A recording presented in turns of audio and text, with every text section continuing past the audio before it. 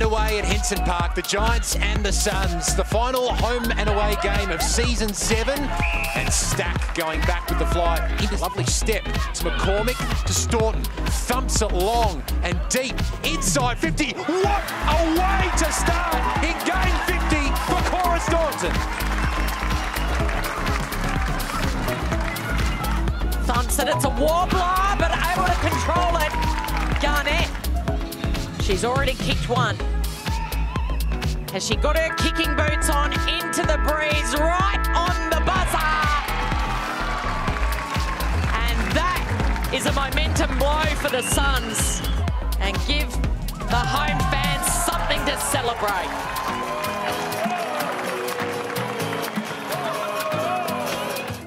So the Suns will finish the AFLW season in ninth position. It's their best AFLW campaign yet, but they're still yet to beat the GWS Giants, the two youngest clubs in the AFL landscape, and the Giants go 4 and 0 over the Suns in the AFLW.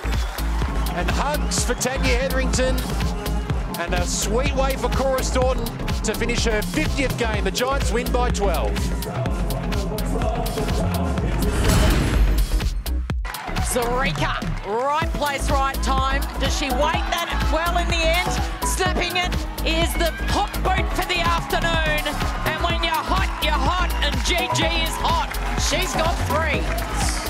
Georgia Garnett, who's relieved the pressure of, of the expectation on Cora Staunton this year. And as you can see, she's provided a real presence inside 50 for the Giants, ranked number one in the AFLW for marks this year.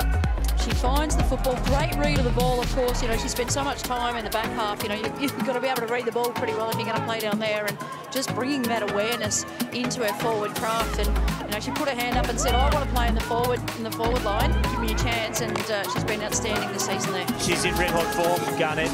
She's good enough to win it and finish really well. She's playing so well. Whistle on play. It's going the Giants' way. So here's an opportunity. Hill. Hand passes it off to oh. Evans. What an incredible strike of the footy. Bang! Well, that's a big roost. Tarni Evans from outside 50, maybe a little bit aided by the breeze, but regardless, she is one of the most dynamic players in the competition, I reckon. From half back, she runs the carry, she kicks the ball in, looks for the one-two. Such a lovely long kick. We saw that on that occasion. That was some sort of finish from nowhere, Jess.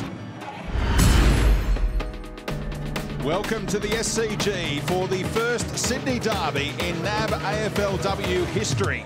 It's East against West, red v orange, new against old, with one of these teams set to claim initial bragging rights in the Harbour City. Bouncing ball inside forward 50. Chance here for Dalloway. Linked up with a teammate with speed. Nicola Barr! Welcome back into the history books. The first goal in the Sydney Derby goes the way of Nicola Barr, who wrote an open letter to everyone about this experience this week. Well, she's been a Sydney supporter her whole life looking for teammates, and they've worked it out here. The use of the body from Goldsworthy, who's got another two today against the Swans, just as she did in the scratch match about five weeks ago. What a talent, the 17-year-old. They say to the new kids on the block, the Sydney Swans, that it's our derby first up.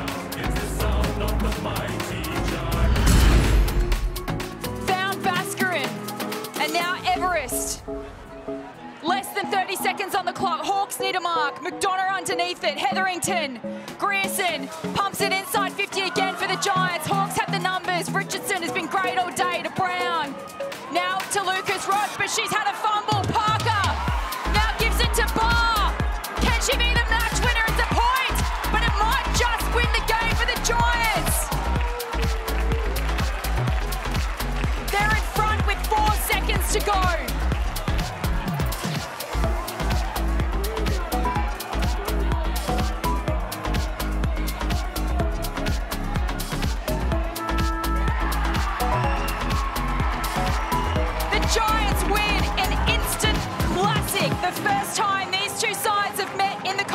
It is the Giants home by a point.